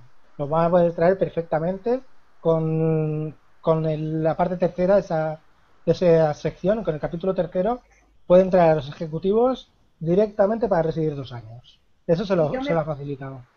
Y yo me pregunto, ¿se está yendo todo nuestro profesorado fuera de España y nos dedicamos a facilitarle la entrada a los de, a los de fuera? Que me parece muy bien. O sea, el abrir fronteras, esto no es ningún... Pero claro, es un poco contradictorio. Se ha querido hacer una ley parecida a la que tienen otros países europeos, pero para eso tenemos que ser primero atrac- tenemos que ser eh, atractores, o sea, tenemos que ser tractores de, de innovación. Y España no es tractora de innovación. Bueno, no es el- Alemania. ¿Y quién El capítulo cuarto, el capítulo cuarto habla de los profesionales altamente cualificados, artículo 71. Profesionales altamente cualificados dice que podrán solicitar autorización de residencia profesionales altamente cualificados que tengan validez en todo el territorio nacional las empresas que requieren incorporación en el territorio de profesionales extranjeros para desarrollo de relación laboral o profesional incluido en algunos supuestos. Y ya te están diciendo que el promedio de plantilla durante los tres meses inmediatamente anteriores a la presentación de la solicitud tiene que ser como mínimo 250 trabajadores. Directivos de multinacional. Como ves, es eh, 250 trabajadores es la media que tenemos en este país de las empresas normales, que suelen ser entre 10 y 25. O sea, es que Se la cero. Sí. Claro. Sí, bueno, es que esto es, eh, una sección de la Ford tiene 250 trabajadores. Las 10 secciones de la Ford tienen los 2.500 que hay ahora. Como funcionan por secciones, la sección de motores, la sección de calidad, la sección de chapa, la sección de pintura, la sección de robótica, la sección de mantenimiento, tienen ese, ese nivel. Entonces, esa gente es la que pueden traer ahora americanos de tal y cual para estar ahí. O de Alemania, de Inglaterra. Si ahora Birmingham se traen aquí los técnicos muy cualificados y como la acreditación es intraempresa, pues ya está. Bueno, por un momento escuchándoos, mm, lo he visto todo rojo, negro, y lo que me ha venido a la mente es que esta ley la han tenido sin espera hasta que, y la han sacado ahora, que porque ya empieza la liga, y como somos tontos, no nos vamos a, es decir, ya, ya a partir de ahora podemos hacer lo que le dé la puñetera gana, y mientras no han tenido la espera. Es un poquito la, la sensación, y sé, sé que la ley aporta muchas cosas, pero es indignante la forma en que la están vendiendo cuando no estamos hablando de lo mismo, es decir, tiene muchísimo, muchísimas lagunas. Vosotros desde luego la conocéis mucho mejor que yo. Yo no me la he leído, no he, he visto lo que he visto y los artículos que he leído y no conozco la normativa tan profundamente, pero, pero sí, es una auténtica, Ignacio, no sé, es indignante. Por comentarte otra cosa para que veas. El segundo, el segundo título es ley, eh, como sabemos, es Ley de Ayuda al Emprendedor y a su interna- internacionalización, ¿vale? La parte de internacionalización es básicamente que los bancos, con el dinero que tienen en cédula, en anticipos de exportación y en, pre, en preanticipos de importación, pueden hacer, cogerlos todos, juntarlos y hacer cédulas y bonos de, de, interna- de internacionalización y venderlos en mercados secundarios. Yo creo que esto nos suena a todos de algo, ¿no? O sea, es un poco el, los cé- cédulas y bonos hipotecarios, ¿os acordáis, no? Pues ahora cogemos todas las facturas que tienen las empresas, que, que han puesto las empresas en los bancos para anticipar de exportación y todas las que han puesto para, para prefinanciar las importaciones y las vamos a coger, las vamos a juntar con la calidad crediticia del banco, le vamos a, las vamos a vender en mercados nacionales e internacionales. Sobre todo a grandes Bueno, inversores. Ahí hay otra historia, es que esta modificación de la ley 44-2002, lo que van a hacer ahora, con el cambio que quieren meter en el artículo 32 eh, y 33 de esta ley nueva, es que sean células eh, territoriales de las cuales las propias entidades autónomas eh, salgan avalistas.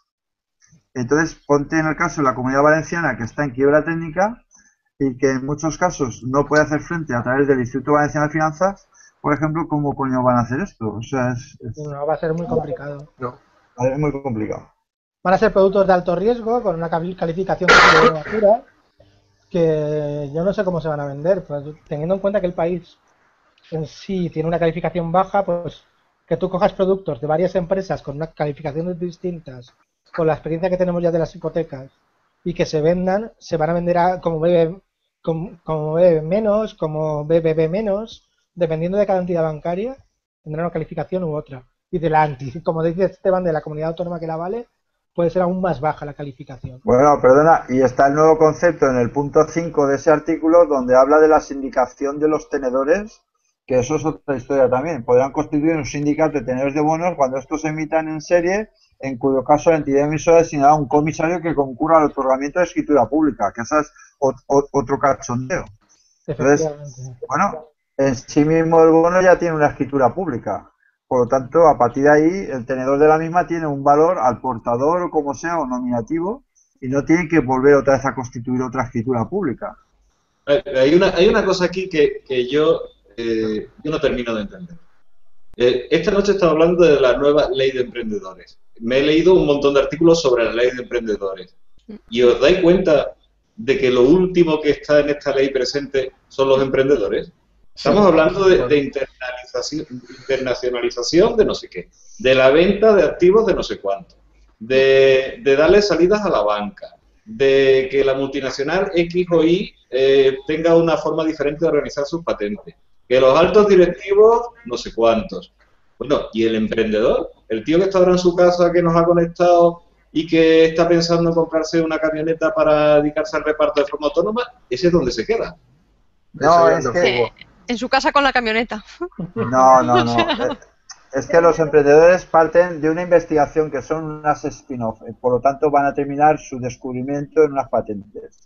Primera cosa. Lo que se pretende es que puedan salir al exterior con esas patentes y se internacionalicen porque aquí en España no tenemos demanda interna suficiente para comernos todo lo que esto podría provocar. Por lo tanto, forzosamente tenemos que ir a buscar mercados exteriores. Lo que está intentando de alguna forma es que, dado que aquí no tenemos demanda interna y tenemos un flujo económico muy bajo, eh, vayamos a flujos económicos más altos y de una calidad crediticia mucho mayor, en entornos que sean eh, como mínimo B, AA o algo así, no como nosotros que estamos en triple B y cosas parecidas. Vale, Tiene un sentido dentro de lo que es macroeconomía. vale. En un sentido microeconómico no tiene ningún sentido. Entonces, esa es la historia. A ver, mira, yo tengo, yo tengo una cierta formación económica. A ti te he entendido. Me juego algo al que el 90% de la gente que ha escuchado lo que tú acabas de decir no lo ha entendido. Pero es Bueno, que pues lo le- siento, yo, yo lo siento, a veces, como soy No. profesor de universidad, No, si no, no va por ahí, no va por ahí. me explico mal, me No. explico No, mal.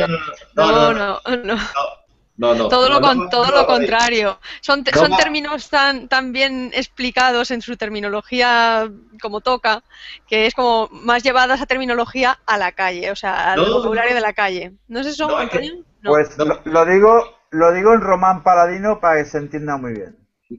Estas, esto que están haciendo es, dado que dentro de España nuestra capacidad de mercado es pequeña, voy a poner todos los instrumentos necesarios para que tú, si tienes ingenio, has descubierto algo, puedas tener de una forma muy barata la posibilidad de irte al extranjero a vender lo que aquí no vamos a poder comprarte.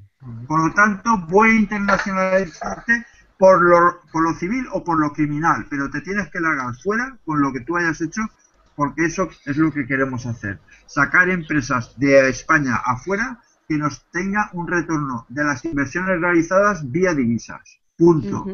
Es la única forma porque no tenemos más posibilidad de ingresos. Vale, te he entendido. Pero antes cuando yo te decía eh, lo del lenguaje técnico, no iba en el sentido de que no supiera explicarte, que te explicas como un libro abierto, ¿eh? No iba por ahí. Hmm. Sino lo que yo, lo que yo intentaba plantear la pregunta es, te hemos entendido, yo te he entendido, a José Antonio le he entendido también, pero esta ley ha creado una cantidad de expectativas por la prensa, por las propias declaraciones políticas y demás, que al común de los mortales es que no le sirve de nada. Es que se complica la vida. no, no, sí que le sirve. Sí que le sirve. Mira por- en lo que le sirve. Primero, van a salir como setas los enchufados que van a abrir tenderetes con mostrador que va a poner ahí puntos de información al emprendedor. Los pies. Primera cosa. ¿Por qué? Porque hay mucha gente que puede cumplir los bajos requisitos que ahora han puesto y que antes eran más difíciles, como la época en la que Maite Montón abrió su despacho y se hizo un punto PAE. Vale, primera cosa. Segunda cosa, las administraciones públicas de las comunidades autónomas van a habilitar una serie de instrumentos tipo CEIS y otros sitios para que puedan desde ahí hacer todo esto donde antes no tenían entrada y no eran punto de ese tipo. Lo van a realizar, además de lo que ya hacen las cámaras de comercio. Van a poner muchísimo más sencillo que sin tener prerrogativas especiales y sabiendo que no tienes que desarrollar en este momento un capital y no teniendo en cuenta que vas a tener un perjuicio en el largo plazo porque al no tener capital totalmente desembolsado no tendrás todas las garantías que te van a exigir para determinadas cosas, no vas a tener la responsabilidad completa porque no tienes el capital desembolsado, pero eso no importa porque no lo sabes, pues tú lo que vas a hacer es que te vas a lanzar a tener una empresa porque no tienes que desembolsar los 3.000 euros y porque eso es lo que te va a permitir creer que eres empresario y por lo tanto vas a hacer algo. Por ejemplo, abrir un tenderete para vender revistas, para vender chuches, para vender pipas, para poner un carrito de top eh, horchata, eh, eh, de mono horchata, de yuna horchata, de no sé qué, montar en un pequeño sitio, en un mercado, un sitio para vender camisetas, para vender chándal de segunda mano o reciclaje. O sea, pequeños, pequeños, muy pequeños emprendimientos, con un volumen a lo mejor total de facturación al año de 30.000 euros que solo da para pagar la materia prima, la mercancía y vivir con 10.000 euros, que es lo que va a tener de flujo para el autoempleo del tío. Mirad, Eso es lo que están haciendo, atomización de un mercado interior teniendo montones de micromercados generados en torno a pequeñas actividades. Ojo, mirad la clasificación de las actividades económicas y veréis que han desmenuzado ellas hasta cuatro niveles. no, no, pero precisamente por eso. Vamos a ver, eh, sí que hay una cosa positiva en la ley que también quiero resaltar que antes se me ha olvidado, que es la ampliación de la no necesidad de solicitud de licencia de apertura para locales que tienen hasta mil metros cuadrados Claro, lo que te la digo, las- a más a más actividades económicas. O sea, Las ahora chuches, ejemplo, para montar- no, no, un la, despacho de la abogado, papelería, mira, papelería, librería, venta del cupón procio, no sé qué, cuatro actividades en un local menor de mil metros cuadrados que te permiten hacer X emprendimientos con distinta tipología económica. pero por ejemplo, un despacho de abogados que tenga Tiro. más tenga menos de mil metros cuadrados no necesita pedir licencia de apertura al ayuntamiento, es una cosa absolutamente lógica, porque eh, no la necesitará, o sea, directamente dirá, ya he abierto. O sea, Y lo mismo, y perdona, y un está. grupo, y cuatro community managers, cuatro community managers que se sacan una, una licencia de IAE de cajón desastre porque no existe ese epígrafe dentro de lo que es la actividad económica actual, ponen el El 948 844, o el 844, uno de esos de cajón desastre, no piden licencia de apertura, no tienen ningún desembolso, pagan 200 euros de alquiler de un espacio de coworking y ya están legales. Eso es lo que han hecho. Sí. Dudosa rentabilidad, seguro. Pero tú, tú, fíjate, aquí, aquí hay un comentario que, que en el fondo, bueno, en el fondo y, y en, la, y en la superficie, te da totalmente el, el- el- eh, totalmente de acuerdo contigo, porque dice, mira, Silvia Gonzalina nos dice, ni todos somos emprendedores tecnológicos, ni todos nos podemos ir a México. Yo soy de Claro. letras. Claro. ¿Qué, qué le decimos a esta mujer? Que monte un kiosco Pues- de horchata. No, pues esa mujer, si es de letras, a lo mejor puede poner un negocio de correcciones o de realización de contenidos para suministrar a alguien. A ver, yo le, di- yo le diría que en realidad la ley le va a beneficiar en la reducción de la cuota de autónomo, que si tiene que tomar la- y tiene que tomar una decisión de abrir un negocio solo en base a eso, eh, no será la mejor decisión, porque otro tipo, otro tipo de ayuda, eh, lo de si tiene vivienda, poderla proteger, pues bueno, puede ir, puede ir bien o no puede ir bien. Es una, es una medida que tampoco, tampoco la veo importante. Porque en cuanto a pensiones o, o el ICO, un ICO un 8% de interés, pues tampoco le va, seguramente tampoco le convenga, un ICO un 8% y pidiendo avales, tampoco tiene mucho sentido. Eh, el- como emprendedor de responsabilidad limitada, lo que vuelvo a la, a la vivienda, si tiene deudas con la seguridad social o con la, o con la hacienda, no le salva la vivienda, porque solo es para, otros- para acreedores que no sean administraciones públicas. Con lo Bien. cual, Ni en caso de dolo o negligencia tampoco, ¿eh, Maite? es- es- tienes que emprender es porque realmente quieras ser tu propio jefe, tengas un modelo de negocio validado y realmente te apetezca, no por lo que nos venga nada, porque dar, no- dar no están dando, no están dando nada, realmente son migajas. Así que Pero Maite, es que eso es filosofía, cariño, eso es filosofía. Eso, eso se lo explicas tú en el weekend a uno que te diga que tiene un modelo de negocio, y que, que darle caña para que se le dé la vuelta. Pero tú no le digas eso a un tío que está encima de la mano con esto para abrirse mañana un negocio. Yo eso no se lo puedo decir, se lo puedo decir a alguien que quiere crear una startup, pero no a alguien que quiere hacer un emprendimiento de tipo 00. se lo estoy diciendo a esta chica que pregunta realmente que ella que no es que, si realmente eh, para emprender, pues a ver, si quiere emprender en base a, a las ayudas que hay o a la expectativa que se ha generado con la ley, creo que eso no es la razón para, para emprender, porque realmente son miga- migajas, no hay ayudas reales ni nada más allá de, de la de Mira. Para emprender es necesario empezar teniendo claras las tres Fs. Tengo que comprometer a la family, tengo que comprometer a los amigos y tengo que comprometer a los locos. Family, Phones and Friends. Los tres tienen que poner su parte correspondiente. Si yo no tengo claro ese capital y no soy capaz de, obtener riesgo, si solo espero que me den subvención para montar algo, no lo montes. Vas a caer, te vas a hundir y vas a deber todo lo que te den. Eso está más claro que el agua. Segundo, el emprendedor que está esperando tener subvenciones para poder realizar su negocio, ese no es emprendedor. Porque con el dinero de los demás yo también hago negocios. No, tengo que arriesgar el mío, primera cosa. Y segunda, debo tener muy claro qué es lo que yo quiero hacer en la vida. Yo soy de letras, muy bien. ¿Qué hay de letras que te gusta a ti hacer? Porque puedes poner simplemente algo de artesanía, recuperar artesanía de la abuela, montar un e-commerce, puedes montar mil cosas, siendo de letras. No necesitas ser tecnológico, porque te hacen la plataforma otra gente y tú solo la administras. Lo importante que debes tener que es la idea clara de qué quieres hacer, cuál es el objetivo que quieres conseguir, cuánto es lo que estás dispuesto a arriesgar, qué es lo que quieres recoger y en cuánto tiempo. Si tienes las cinco cosas claras, defínelo y sal. Si no, va única- que te quedes en casa o te dediques a comprar el pano o a estudiar o otra cosa.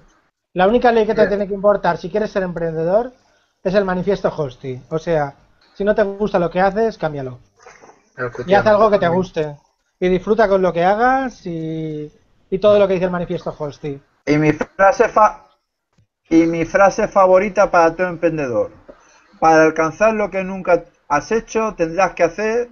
No, para alcanzar lo que nunca has tenido, tendrás que hacer lo que nunca has hecho. Esa es la historia. Por lo tanto, todos los sacrificios están ahí para el emprendedor. Pocos nos va a ser dado, como dice la Biblia, si no merecemos algo más. Pues esa es la historia.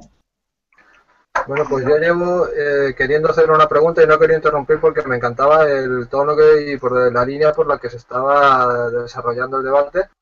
Mm, Todo lo que me toca el tema del emprendimiento, la verdad que me, me gusta muchísimo, pero eh, voy a aprovechar eh, y os la, os la lanzo. Es una percepción personal. Del tema este de los acuerdos eh, extra- extrajudiciales de pagos, no sé, yo lo he leído y yo tengo el pálpito de que esto es una caja en la que se van a soltar mm, para que se hagan todos los, tra- los chanchullos del mundo. Eh, Le veo o le quiero ver muchísimos boquetes a falta de desarrollo reglamentario, que entonces ya, entonces se sabrá lo que hay y lo que no hay. Pero ahora mismo, tal y como está planteada la cosa, mm, me parece que va a ser un coladero tremendo. No sé qué pensáis. Como, como, como... Ah, Maite. como, como mediadora que soy también te contesto, yo creo que han intentado, como los concursos de acreedores son tan caros, porque los honorarios que, que se manejan son muchos, eh, el acuerdo extrajudicial ha, ha sido un modo de introducir la mediación a nivel concursal para eh, ahorrar costes. A partir de, de ahí, si puede ser un coladero, como tú dices, pues lo tendremos que ver sobre la marcha, porque hasta que no se empiece a aplicar, porque primero habla de que hay que coger a los mediadores del registro de mediadores, pero hay que deciros que la ley lleva funcionando de, desde el año pasado y todavía no, no hay ningún registro de mediadores. Los únicos que se han generado son dentro de los colegios de abogados, pues, eh, por ejemplo, como está en el CEMICAB en, en Valencia, en Málaga creo que también tenéis ya mediadores, centros de mediación. Entonces, eh, y van a tener que recurrir a, a solicitárselos a los registradores o a los notarios. Con lo cual, a partir de ahí, de si se genera una mafia tipo registro de administradores concursales, que hay bastante, porque se suelen dar a grandes despachos y demás, y aquí va a pasar lo mismo a nivel de, mediación, eh, no, lo sabemos, pero que sí que si, se, si el mecanismo funciona bien, se puede ahorrar mucho dinero a, a esta gente que soluciones extrajudiciales, sin olvidar que las soluciones extrajudiciales no se van a aplicar ni a las administraciones tampoco, es decir, no vamos a poder negociar con Hacienda y con Seguridad Social más allá de un aplazamiento o fraccionamiento de la deuda, pero no una quita o una espera. ¿Vale? O sea, una reducción del crédito o mayor plazo para pagarla. Eh, Maite, tú estás colegiada, ¿verdad? Sí, Vale, pues ten cuidado con la explicación que esto va a quedar en público, que has dicho eh, como esas mafias de registradores y notarios, supuestamente, claro. ¿Eh? No vaya a ser que mañana procedan contra ti dentro de lo que es equidad del colegio y te presenten una, una denuncia por ese tema. Eh, eh, Bueno, bueno, vale. Mira, hay más gente que quiere implicar en el tema. Como se están quedando ya eh, en estos momentos los procuradores también sin una actividad muy clara y hay gente que los quiere quitar los colegios de procuradores, eh, igual que a los notarios les quieren eh, implicar directamente en todo el tema de desarrollo mercantil, mucho más de lo que había, pues quieren meter a los procuradores en lo mismo, para que determinado tipo de cosas directamente puedan ser los actuantes y, y entonces, por lo visto, una salida también podrían ser la mediación. Eh, no está nada claro ese tema, pero yo sí que veo una cosa bastante, bastante aceptable. Cuando tú llevas ahora una empresa a concurso, siempre que no sea un concurso eh, instado por una necesidad objetiva o seas denunciado por alguien que sea acreedor tuyo, si tú lo haces de forma voluntaria porque has cumplido lo que dice el artículo de la ley y tú ves que es causa sobrevenida y por lo tanto dice cuando el gerente o el propietario de la misma co- conociera o debiera conocer que está en estado de insolvencia, pues si no es una insolvencia punible, podrías perfectamente llegar a acuerdos, como de hecho ocurre, con los grandes eh, acreedores que tengas y entonces sí, pactar con ellos las quitas o lo que sea. ¿Qué pretender hacer con esto? Pues que no exista, digamos, ese chanchullo del gran negocio que han sido las actuaciones concursales para aquellos que tienen eh, gran cantidad de la masa, que son los que han dominado perjudicando a todos los que estaban en la cola, que con las quitas se han quedado prácticamente sin cobrar. Pero ahora esto lo vamos a traducir a empresas mucho más pequeñas, cuyos volúmenes seguramente de concursos sean mucho más pequeños. Van a hacerlo muchísimo más fácil y con eso lo que se va a lograr es paralizar la enervación de las acciones que permitan que en vez de ir a una liquidación de la empresa tenga flotamiento y pueda salir adelante. Eso sí que me parece positivo. Vale. Algunas veces, en muchos de los concursos actuales, las empresas directamente han ido a liquidación porque se ha esperado tanto en tener perfectamente claro todo el tema por medio de los juzgados de lo mercantil, que cuando ha llegado la acción, aquello estaba para liquidar porque no ha podido ser salvado nada. Y entonces es mucho peor eso. En el caso de los emprendedores, lo pierden todo de ellos personalmente. Y por lo tanto, todo el esfuerzo, no solo las ilusiones, sino también la parte climatística. Por lo tanto, todo aquello que conduzca a intentar paralizar las acciones, tener un tiempo de espera suficiente para poder reactivar la economía de esa empresa y poder salvarlo, a mí me parece positivo. Vale. Bueno, como economista que está bastante, está metido en el registro de economistas forenses, entonces, eh, este, como diría Maite, yo lo de la mafia, lo de la mafia lo llamo más las Big Four y, la- y las y las cinco medias. Esas son las mafias. Eso-.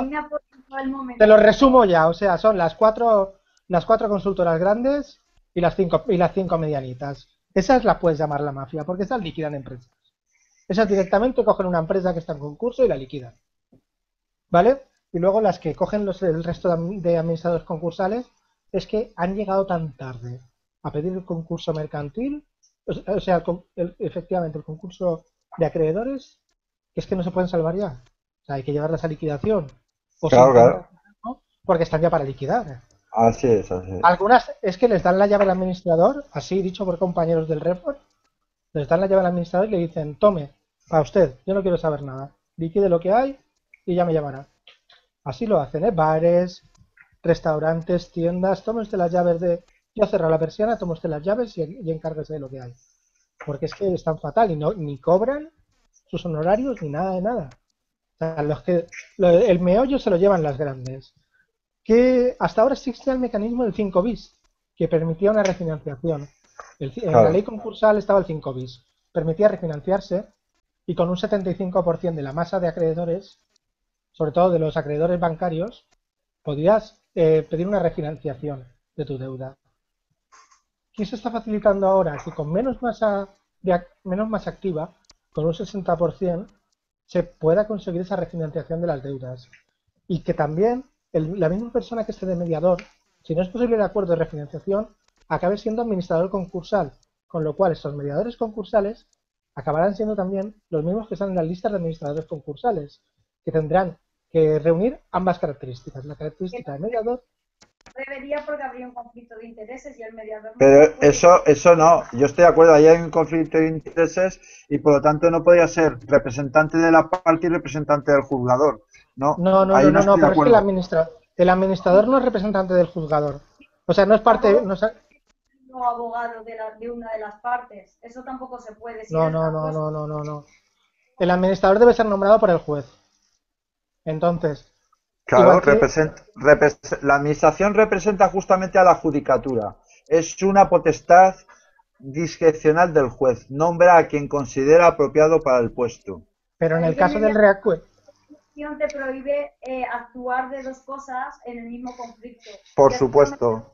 Sí, no, pero la ley, la ley articula en su parte, en la parte del acuerdo extrajudicial de pagos, en el artículo, ahora os lo diré, no los tengo listados, aquí lo tengo, vale, la ley. Os lo diré ahora mismo. Mm, dice exactamente en la parte de acuerdos extrajudiciales de pago, es por el artículo 23, 21, ¿vale? 22. Vale, al mediador lo tiene que nombrar eh, el registrador mercantil o el notario al que se le solicite la designación. Y lo cogerá de una Ah. bolsa, no lo nombra al juez. Eso sí. Eso Si no sí. se llega a acuerdo, si no no se llega a acuerdo, Eso sí, eso sí, pero es que ahí no entra la judicatura. Ahí No, no, pero- es como es como cuando tú cogías y hacías eh, un sistema de arbitraje. Buscabas a un tercero que nombraba quién era el hombre bueno entre las partes y lo que él hacía era laudo y por lo tanto ya no podías ir a otra instancia que no fuera directamente el Supremo. No podías hacer de otra forma. La Aquí lista- está la figura por la otra, pero no entra el juez para nada. Esto es totalmente en el ámbito privado del mercantil.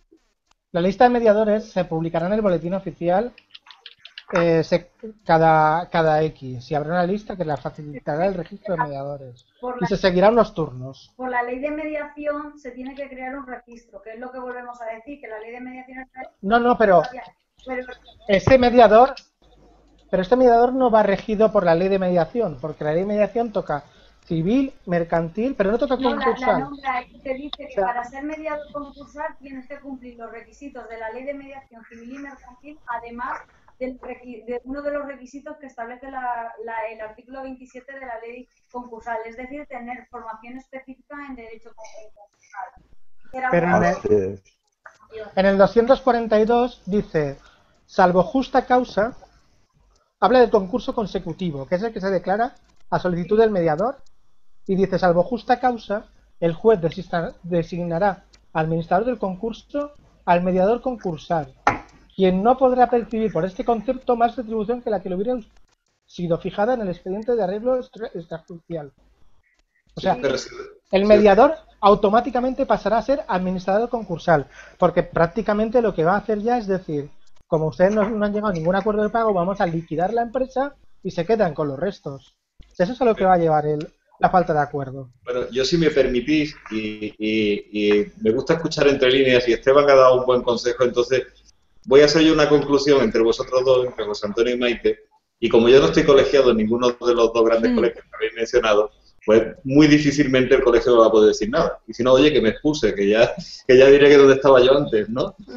Eh, la, la idea que yo eh, eh, he extraído de este, de este último tramo de la charla es que si bien se van eh, articulando de una manera un tanto diferente la forma de liquidar las empresas y demás, en el fondo lo que, está, lo que va a pasar o lo que se intuye que va a pasar es que los mismos que hasta ahora se han dedicado a llevarse el gran pastel, y yo me lo puedo permitir decirlo, de las liquidaciones empresariales, pues van a hacer lo mismo. Antes se llamaba figura tal y ahora figura cual.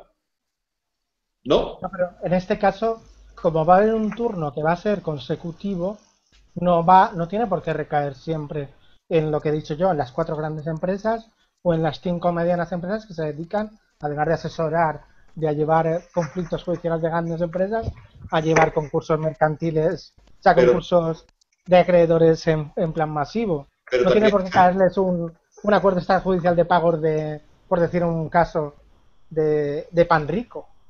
No Vale. tiene por qué. Pero también habéis establecido, habéis nombrado una serie de excepciones. Y si yo no recuerdo mal, una buena parte del trabajo del asesor legal es encontrar la excepción en provecho de su cliente, ¿no? Se me ocurre decir. Sí, pero Bueno. la, el administrador concursal es distinto. O sea, Sí. ahí sí que tiene que decir, nómbralo tú porque yo no soy quien para nombrarlo.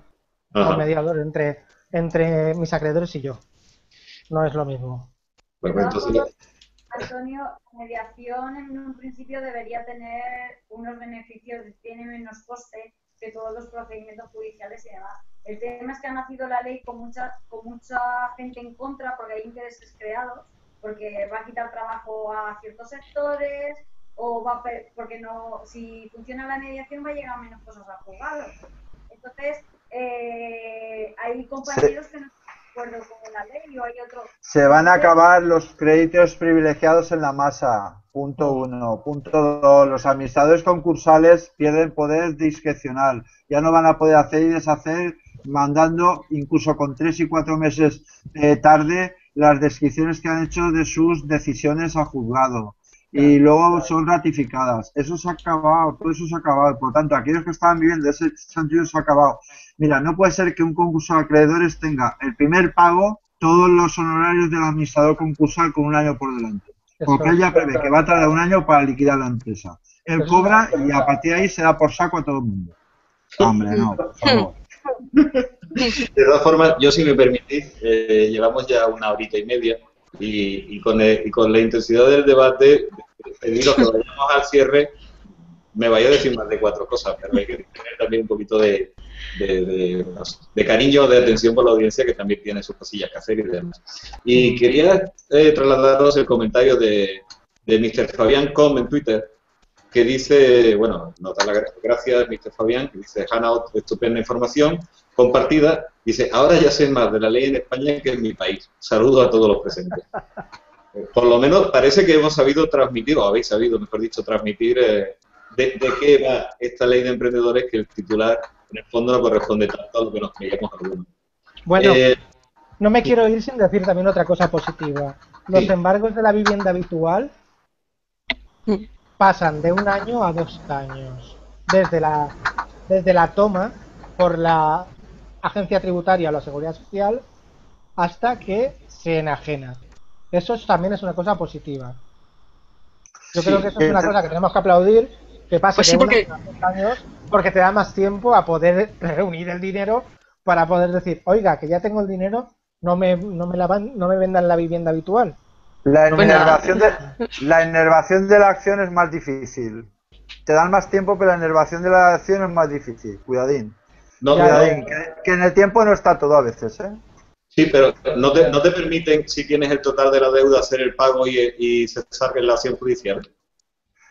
No, tienes que hacer un pago previo para enervar la acción y a partir de ese momento, una vez la tienes enervada, entonces empieza a contarte el tiempo que te van a poder desarrollar el resto de la deuda.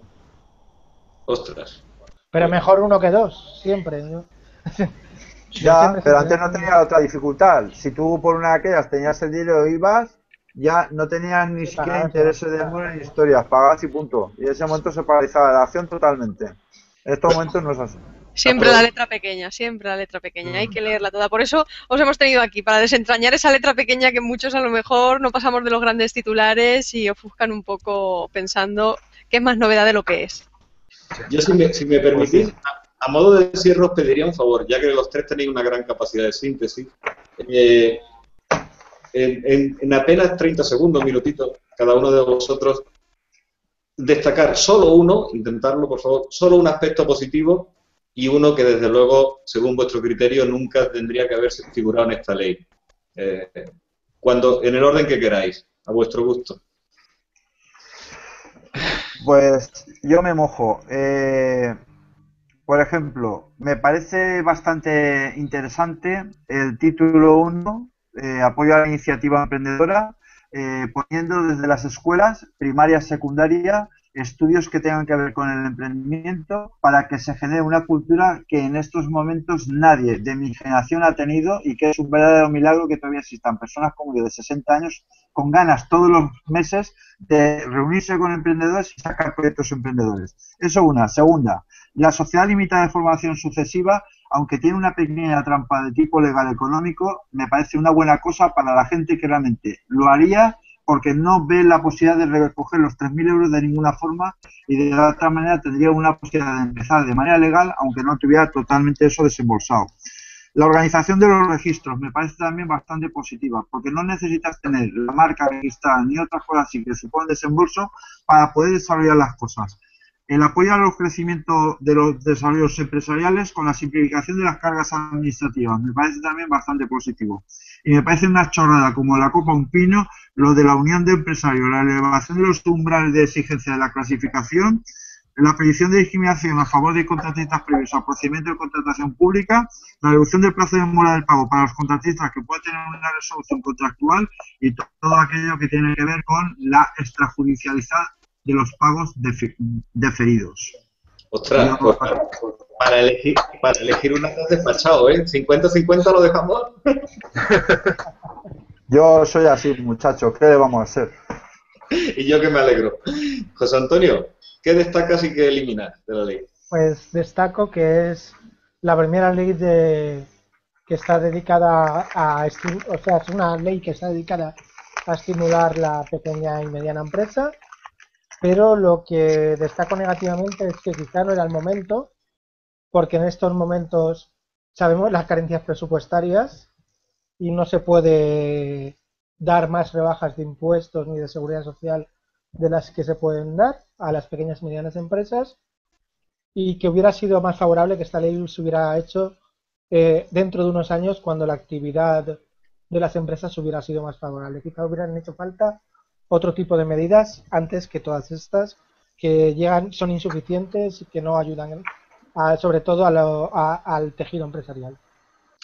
Bueno, como, como tú, bien, tú mismo has dicho antes, como falta todo el desarrollo reglamentario, igual tenemos mucha suerte y hacen el desarrollo reglamentario antes de que la crisis se termine, ¿no crees? quizá, quizá.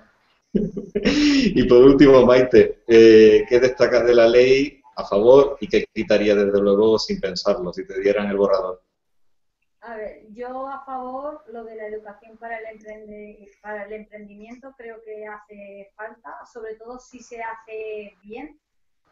Eh, quitaría totalmente el régimen especial de criterio de caja, me parece una aberración. Y del resto soy est- escéptica. Tendré el para creer y veremos, veremos a ver cómo se desarrolla. Bueno, pues eh, como también le decía a José Antonio, a ver si se desarrolla bien y a tiempo. O, o nos pilla en la cuesta arriba o en la cuesta abajo.